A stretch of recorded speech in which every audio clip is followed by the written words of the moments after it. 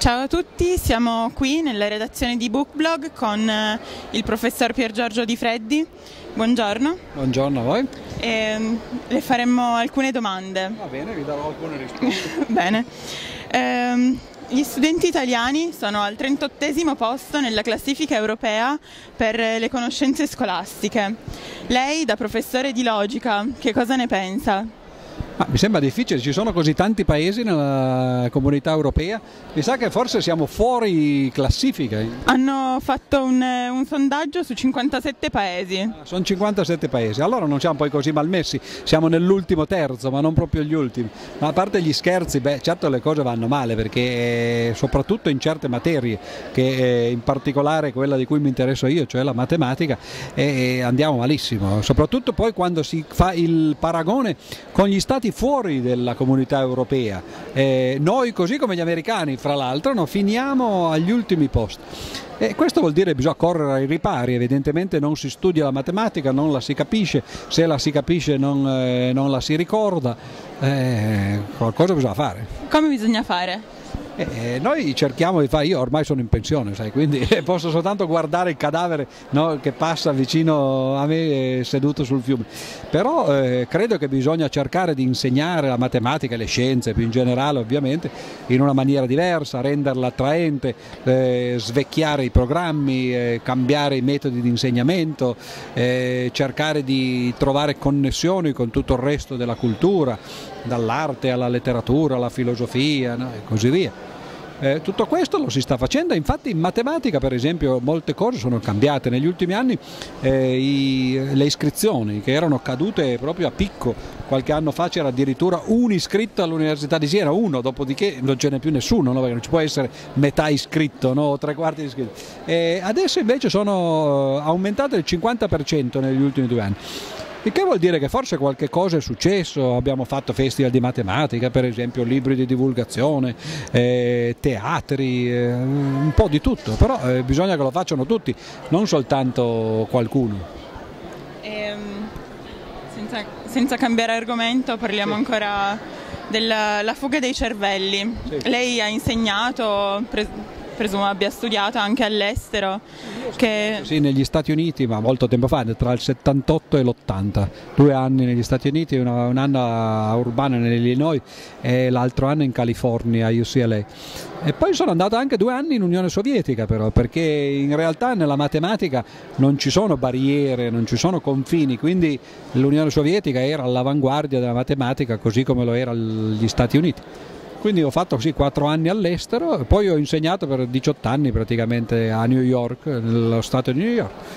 Però non ho mai fatto fuga proprio, solo le fuitine come si direbbe no? in, in, Sicilia, no? nel senso che poi tornavo sempre no? dal, dal primo amore e andavo eh, d'estate, a volte per un anno o due, no? però senza mai trasferirmi definitivamente. Capisco comunque quelli che lo fanno invece in maniera in pianta stabile, perché è chiaro che le condizioni qui sono molto difficili, ci sono pochi incentivi, poca, eh, per esempio pochi posti di lavoro, no? eh, per quando io parlo della ricerca ovviamente, no? di coloro che poi vorrebbero insegnare e fare ricerca in università, no?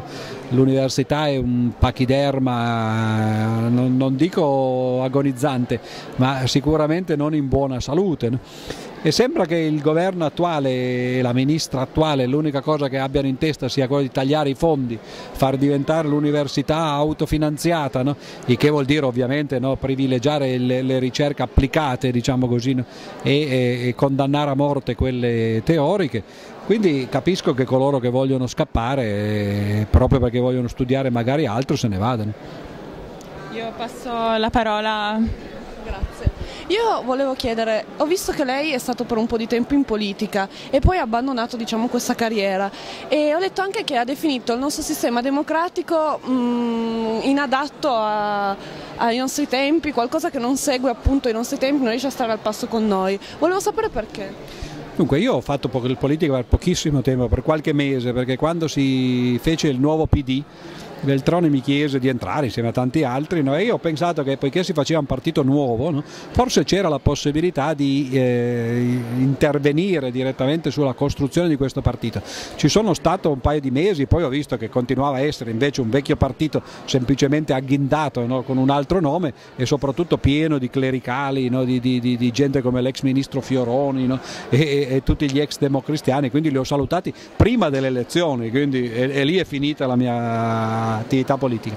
Eh, quello che dicevi sulla democrazia, in realtà la democrazia eh, noi l'abbiamo ormai divinizzata, no? perché sembra che sia eh, quello che cont contraddistingue la civiltà nei confronti dell'inciviltà, chi non ha il sistema democratico occidentale no? è un fuoricasta no? e così però ci dimentichiamo che la democrazia è nata eh, nel Settecento, no? era forse adeguata no, per quei tempi, no? ma oggi pensare eh, con un mondo che si muove così velocemente, in cui succedono cataclismi, ma anche economici, per esempio politici, no? da un giorno all'altro. No? Pensare che uno vada a votare una volta ogni cinque anni, no?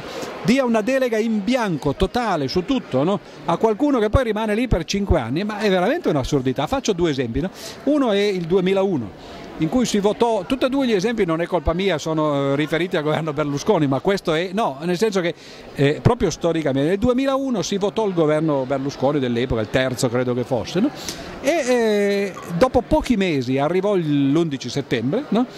E questo significò ovviamente prendere decisioni tipo la guerra in Afghanistan, la guerra in Iraq, la lotta al terrorismo no? e così via. Ma questo eh, non c'era stato nessun mandato da parte dell'elettorato nei confronti, in quel caso del governo Berlusconi, ma di qualunque altro governo. No?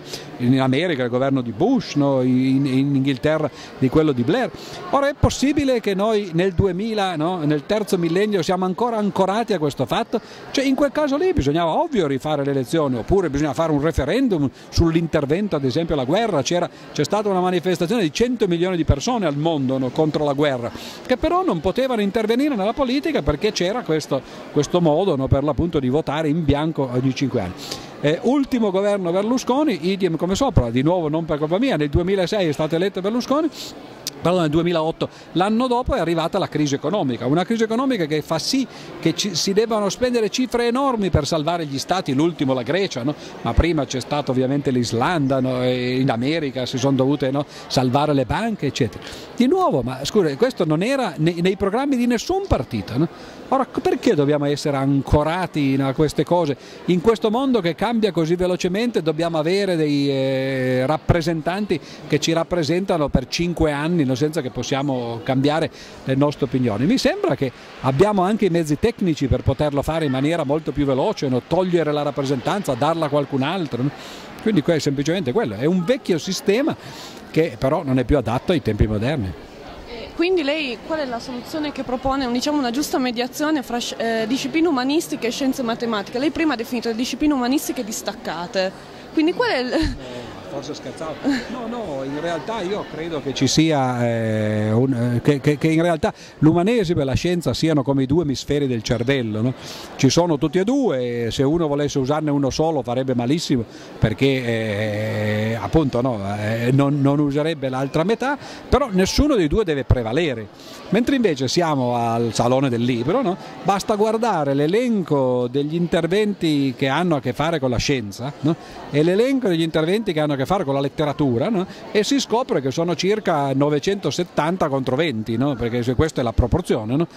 E allora non è il 50% qua, no? cioè, c'è un certo squilibrio, bisogna esagerare, non esagerare, no? cioè, io non credo che soltanto perché uno scrive un romanzo no? bisogna dargli l'attenzione, cioè, i giornali sono pieni di recensioni, di romanzi, di interviste ai letterati eccetera e, i letterati vabbè, fanno il loro lavoro, però anche gli scienziati lo fanno e soprattutto è un lavoro oggettivo, quando uno scienziato scopre qualche cosa, beh, quello è una verità, non è un'invenzione, una storia che mi sono inventato e che racconto a qualcuno. Invece purtroppo nelle televisioni, nei media in generale no, c'è una grande attenzione per l'umanesimo e pochissima attenzione per la scienza, quindi quello che vorrei ribaltare. Non, eh, comunque mi andrebbe bene se per qualche anno la, la, letteratura ricevesse la stessa attenzione che riceve la scienza adesso, di modo da equilibrare. No? Quindi facciamo per 10-20 anni 30 interventi di letteratura e 970 no, di scienza al salone, dopodiché cominciamo a farne 500 e 500.